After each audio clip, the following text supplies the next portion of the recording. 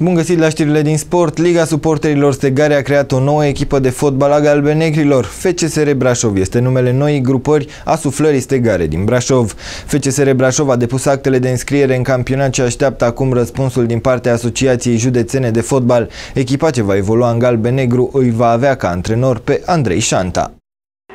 Noua trupă de sub tâmpa va evolua fie în Liga 5 -a, fie în cel de-al patrulea eșalon al fotbalului românesc. Băieții de la Liga Suporterilor Stegare au avut deja discuții și cu antrenori și cu jucători și au alături de ei mai mulți oameni de fotbal care se vor ocupa de partea sportivă în cadrul noului club înființat.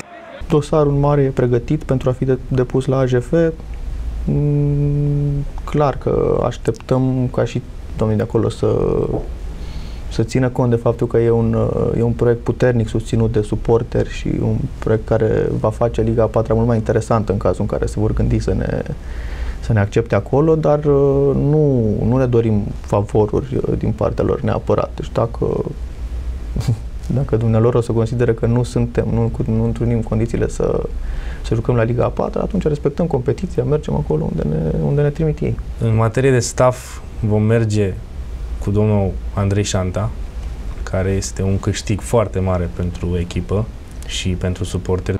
Fostul golkeeper al stegarilor Andrei Șanta s-a născut pe data de 6 martie 1963 la Brașov și a jucat pentru formația brașoveană timp de 11 ani, între 1985 și 1996. El a evoluat pentru Steagul în 102 meciuri. Andrei Șanta a rămas alături de Galben Negri din 1985 și până în prezent când s-a alăturat proiectului început de Liga Suporterilor Stegari. Prin mâna lui au trecut portar de valoare din fotbalul românesc și toți au numai cuvinte de laudă la adresa lui Toto, un alt stegar care s-a alăturat proiectului suporterilor brașoveni este mijlocașul Horia Popa, care va juca pentru FCSR în sezonul viitor.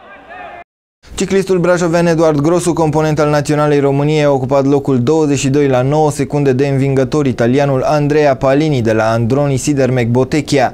În prologul turului ciclist al Sibiului, Edi Grosu a fost cel mai bine clasat rutier român și a intrat în posesia tricoului roșu.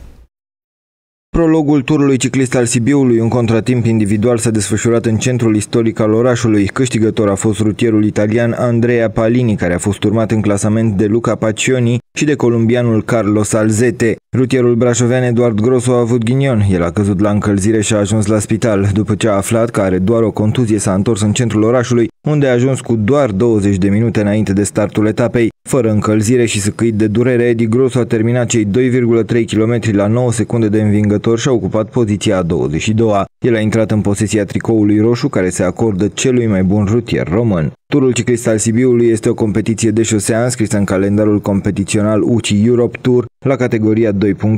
Competiția sibiană se numără printre întrecerile de top ale calendarului competițional UCI Europe Tour.